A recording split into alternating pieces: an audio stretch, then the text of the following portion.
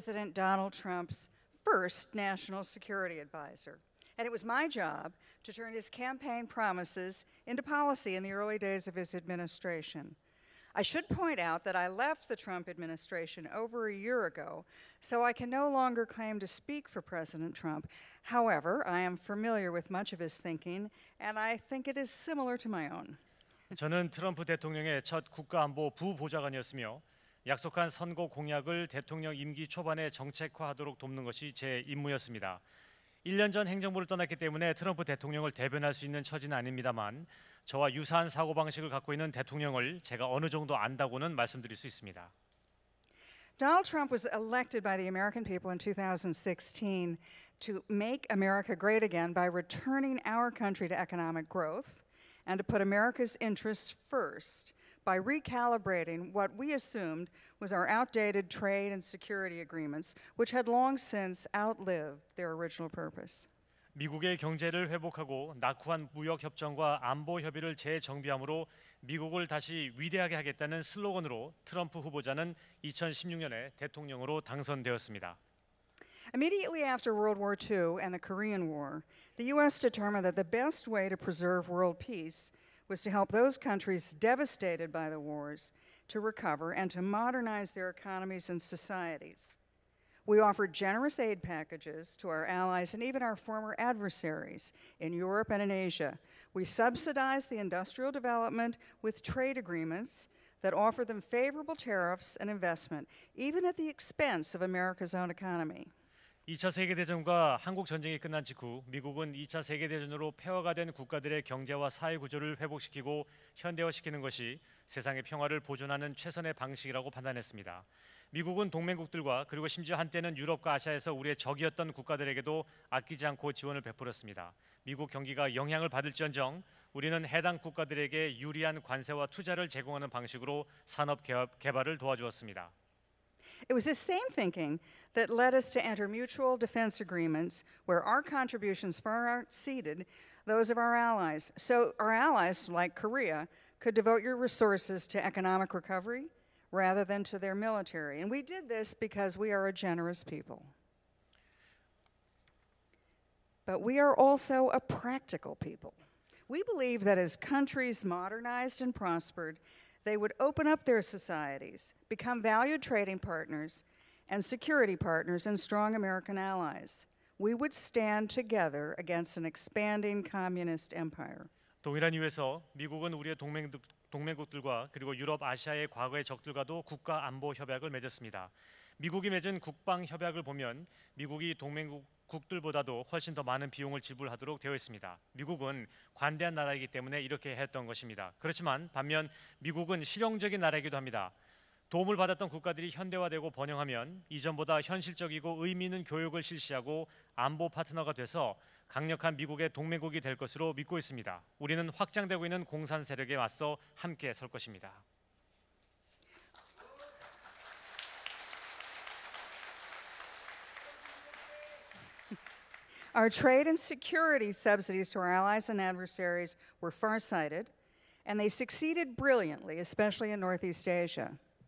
The Asian tigers grew in wealth, power, and influence.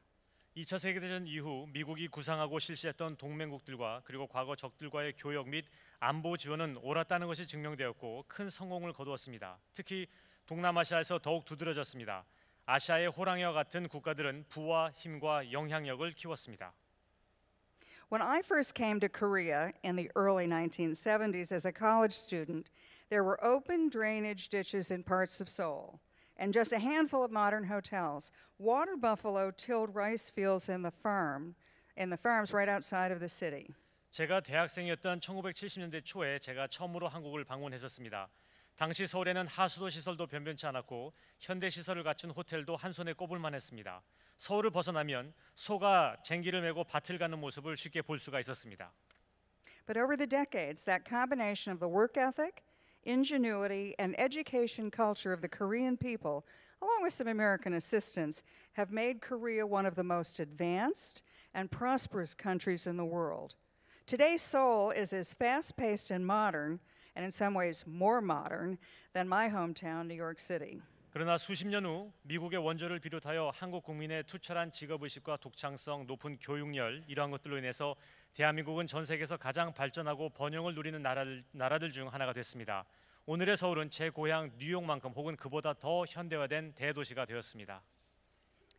When the U.S. first opened relations with China in the 1970s, we hoped China would follow a similar pattern. So we assisted their economic development by investing in Chinese industries, by giving China preferential treatment in trade and tariffs, and sharing our technology and offering educational opportunities to Chinese students. We believed that as China modernized and became prosperous, it would move naturally to a more open economy and society toward free market capitalism, to an increased individual freedoms and human rights. 미국이 1970년도에 중국과 교류를 시작했을 당시 이와 유사한 패턴을 희망했었습니다. 중국 기업들에게 투자를 하고 중국이 선호하는 무역 관세 조건을 제공하고 미국의 기술을 공유하며 중국 학생들에게 교육의 기회를 제공하므로 중국의 경제 개발을 지원하였습니다. 미국은 중국이 현대화에 성공하고 번영하다, 번영하고 있다고 믿었으며 따라서 이에 걸맞게 중국 정부는 경제와 사회를 개방하고 자유시장 자본주의를 지향하며 개인의 자유와 인권을 향상할 것으로 기대했었습니다. By engaging with China in the same way as we had with Korea, and by welcoming China in the World Trade Organization, we thought it too would become an important stakeholder in the US created liberal world order. We thought China would become a robust trading partner of ours. We didn't think they would ever present a military challenge to the US or to our Asian allies. Even if China were to officially remain communist in the 21st century, we believe that for all intents and purposes it would be a benign, pro Western variety of communist. 한국과 나눴던 동일한 방식으로 중국을 대했고 중국을 세계 무역 기구의 회원으로 받아들이면서 우리는 미국이 주도하는 자유 세계 진영에 중국이 중요한 일원이 될 것이라고 생각했었습니다. 중국이 미국의 든든한 무역 파트너가 될 것으로 생각했었습니다. 우리는 중국이 미국과 미국의 아시아 동맹국들에게 군사적 위협을 가하리라고는 생각하지도 못했습니다. 중국이 공식적인 공산 국가로 남는다 하더라도 큰 위협이 되지 않는 친서방의 퓨전식 공산 국가가 될 것으로 예전, 예전, 예상했었습니다. But we were wrong. As Vice President Pence noted, America had a hope that economic liberalization would bring China into a greater partnership with us and the world. And instead, China has chosen economic aggression, which in turn has emboldened its growing military. 그러나 아쉽게도 저의 예상은 빗나갔습니다. 펜스 부통령께서 이런 말씀을 한 적이 있습니다. 중국이 경제적 자유를 누리면서 미국과 전 세계의 훌륭한 파트너가 될 것으로 미국은 희망했었습니다. 그러나 오히려 중국은 경제 침략을 선택했고 군사력을 키웠습니다. China's sharp elbowed trade policies have, in, have violated both the letter and the spirit of the World, World Trade Organization rules. They have forced international companies seeking to do business in China to turn over tens of billions of dollars of intellectual property as a precondition. China's government controlled sovereign wealth funds invested in American companies in order to obtain our R&D and trade secrets. 이런 것들을 예상치 못했던 사람들조차도 중국의 과격한 무역 정책이 세계 무역 기구의 법칙과 윤리에 반한다는 것을 볼 수 있었습니다. 중국은 자국 내에서 사업을 하기 원하는 외국 기업들에게 지적 재산용으로 수십억 달러가 넘는 돈을 요구하기도 했습니다. 중국은 미국의 기술 개발 기밀과 교육 기밀을 빼내기 위해 자국의 국부 펀드를 미국 기업들에 투자하기도 하였습니다. And when the Chinese couldn't legally acquire what they wanted, their military and government owned enterprises hacked into our company's computer systems and stole their most valuable technologies. Once the Chinese got the technology they needed, they used it to strengthen their own state enterprises. And then by manipulating the currency and dumping exported goods at bargain prices, they were able to drive foreign competitors out of business. 합법적으로 원하는 바를 손에 얻지 못하자 중국은 군과 국유 기업들을 사용해 미국 기업들의 컴퓨터 시스템을 해킹하여 고유 기술을 훔치기도 했습니다. 필요한 기술을 입수한 다음에는 그러한 기술들을 사용하여 정부 지원 기업들을 설립하기도 하였습니다. 그 후 통화 정책과 수출품 덤핑을 통해 미국 경쟁 업체들을 파산시키는 일까지도 하였습니다. China has been translating its economic power and technological advances into commensurate military might throughout the world. They're building a world class style military, including a blue water navy with global reach. 또한 중국은 경제력과 기술력을 기반으로 하여 군사력을 키우고 있습니다. 중국군은 세계 수준급의 군이 되었으며 전 세계 어디에서든 작전을 펼칠 수 있는 막강한 해군을 갖추게 되었습니다. and they have begun aggressively throwing their weight around East Asia, especially in the South and East China Seas. They've taken contested, uninhabitable islands and built them into ports. They reassured the world that they were doing this in order to support Chinese fishing fleets, and instead, and insisted that they had no intention of ever militarizing those islands. The Chinese have even challenged Korea in Korea's home waters. 중국은 동아시아에서 매우 공격적으로 세력을 넓혀가고 있으며 특히 남중국해와 동중국해에서 그렇게 하고 있습니다. 중국은 남중국해에 인공섬을 만들고 항만을 구축했습니다. 전 세계를 향해서는 이러한 활동들이 중국 업을 지원하기 위함이며 남중국해 섬들을 군사화할 의도가 전혀 없다고 말은 하였습니다. 중국은 현재 대한민국을 위협하고 있고 대한민국의 영해를 위협하고 있는 것입니다.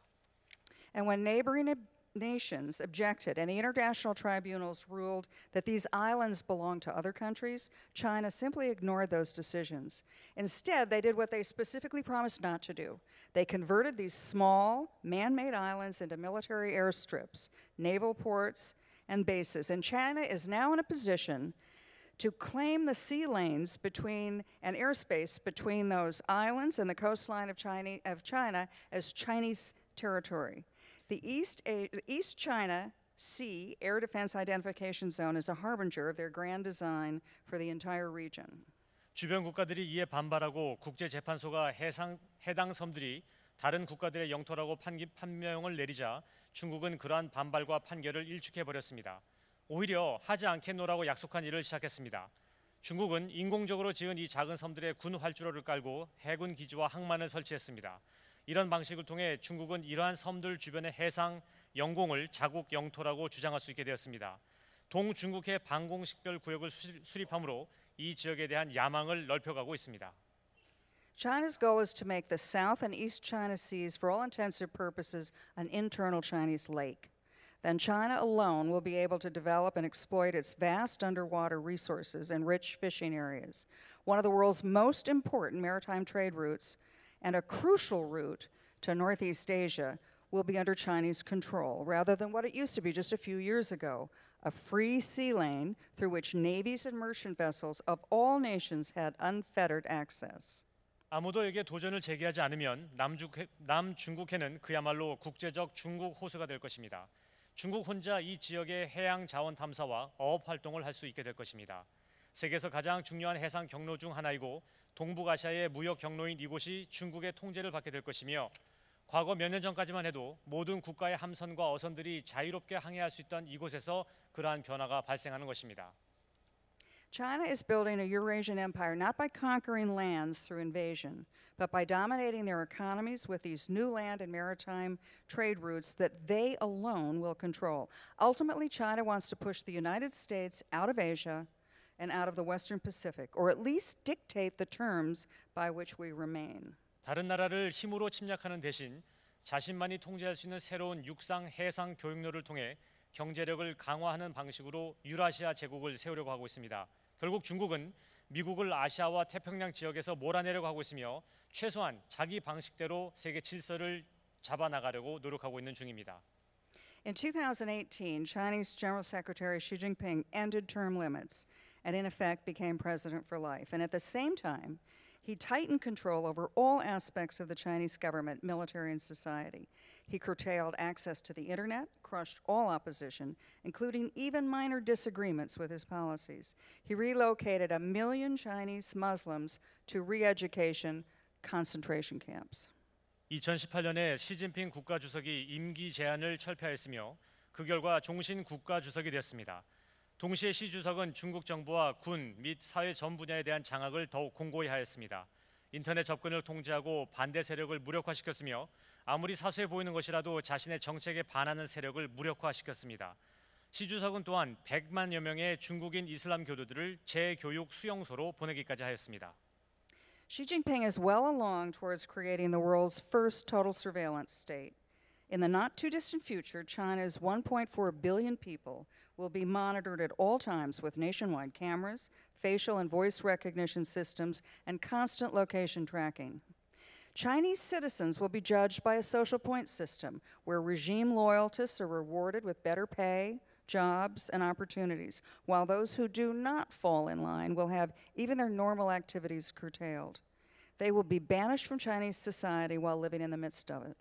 시 주석은 전국을 세계 최초의 감시 카메라 와- 국가로 만들려고 노력하고 있습니다. 멀지 않은 미래에 13억 중국 인구는 전국에 설치된 감시 카메라와 얼굴 음성 인식 장치 그리고 위치 추적 장치에 의해 매 순간 감시를 당할 것입니다. 사회 점수 시스템으로 중국인들을 평가하고 결과에 따라 정권에 충성하는 사람들은 더 나은 직장, 교육, 수입의 혜택을 주게 될 것이며 그렇지 않은 사람들은 일반적인 활동마저도 제약을 받는 불이익을 받게 될 것입니다. 중국에 살기는 하나 사회로부터 배척받는 사람들이 나올 것입니다. China has reneged on the promise it made to Hong Kong with respect to their freedoms, and rather than complicitly, compliantly obey, millions of brave Hong Kong citizens have taken to the streets in peaceful protest, more joining every day. The violence we just saw just this week is a sign that Beijing is losing control of the situation. Some of the Hong Kong freedom fighters came here last night to participate this morning, and they've just left because they have to get back to Hong Kong before curfew tonight. 가장 최근에 중국은 홍콩의 자유를 존중할 것이라는 스스로의 약속을 어겼습니다. 아, 고분고분 순복하기보다는 수백만 명의 용감한 홍콩 시민들은 길거리로 나와 평화적 시위를 하고 있습니다. 아, 2주에 목격한 끔찍한 사건들은 중국이 매우 다급해지고 있다는 것을 보여주고 있습니다. 아, 사실 오늘 어제 저녁에 비행기를 타고 몇 명 홍콩 시위자 몇 분들이 우리 CPEC과 함께하기 위해서 이 자리에 오셨습니다. 우리가 오전에 시간을 보내고 오후에 다급한 계획이 있기 때문에 지금 이 자리는 없고 자리를 뜨시긴 하셨지만 몇몇 분들이 우리와 함께 와서 우리를 지원하고 있다는 점 자신들에게 어, 지원을 해달라고 부탁을 하고 떠나셨습니다.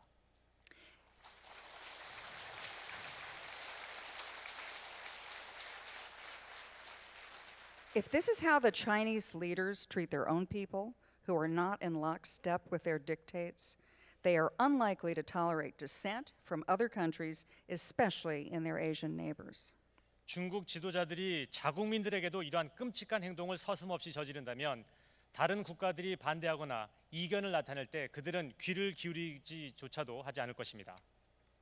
One of the first issues President Trump focused on was what to do about North Korea. I led the initial government review of our policy and helped develop a new way forward called the Maximum Pressure Campaign. In the past, the United States had alternated between carrots and sticks. The sticks would get the North Koreans to the negotiating table, where they were immediately rewarded with lots of carrots.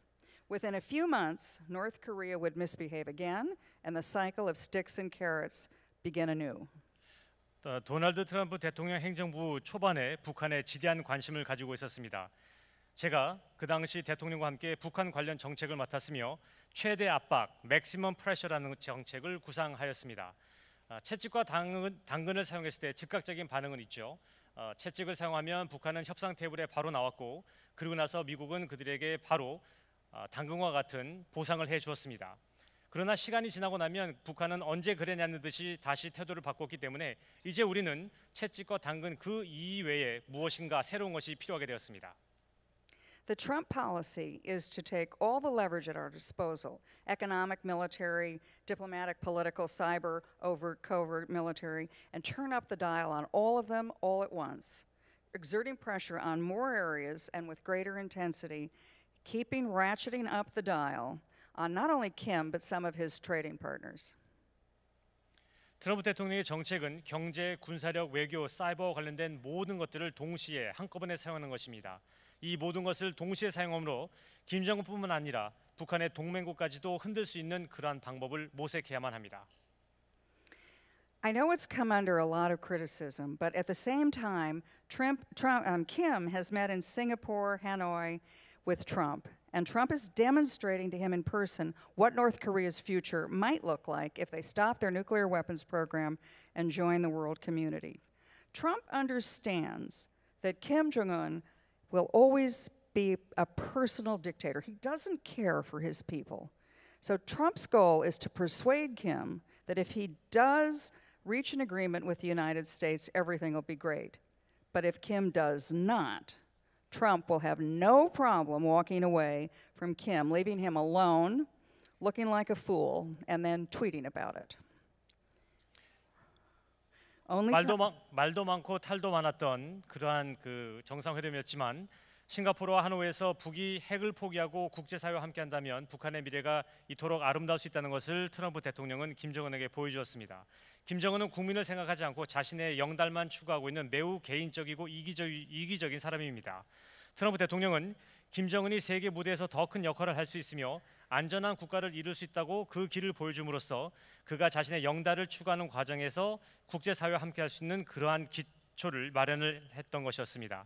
만약 김정은이 대통령의 말을 받아들이지 않고 어, 같이 한, 하지 않는다면 어, 트럼프 대통령은 김정은을 미련 없이 떠날 것이며 김정은은 자신이 얼마나 어리석었는지를 통감하게 될 것입니다. 그때 트럼프는 트위트를 또 할 것입니다.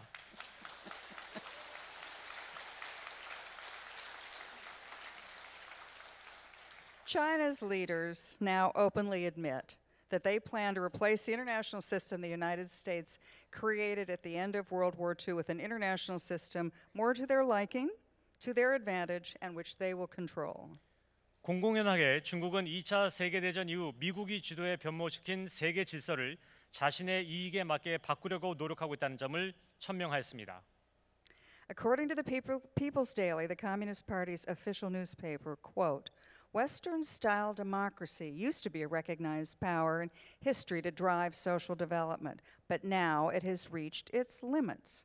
The Chinese believe that nothing can stop their rise and nothing can prevent America's decline.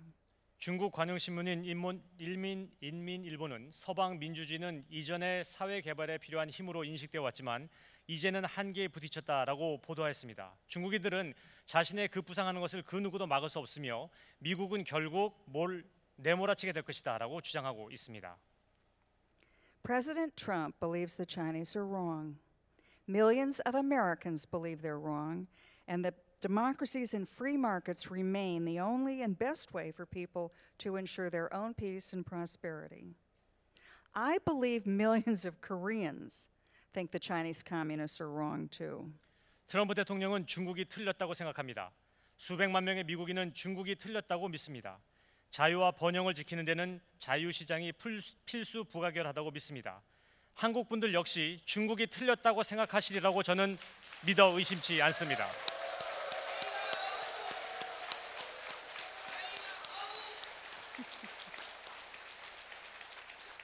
And that's why you're here today. That's why our peace loving friends from Ireland are here. Our peace loving friends from Hong Kong were here. Our friends from Japan are here.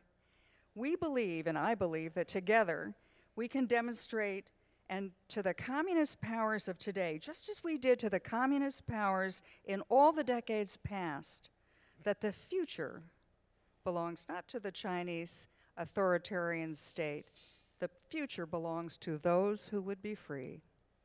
이것 때문에 제가 여기 있는 것이고 여러분이 여기 있는 것이고 홍콩과 아일랜드와 일본과 호주에는 우리의 동맹 국가의 대표자들이 이 자리에 함께하고 있는 것입니다.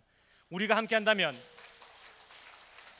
우리가 함께한다면 지금의 공산주의자들은 과거 공산주의자들이 사라진 것처럼 다시 한번 사라질 것이며 미래는 미래는 자유를 추구하는 우리 모두에게 다시 되돌아올 것입니다.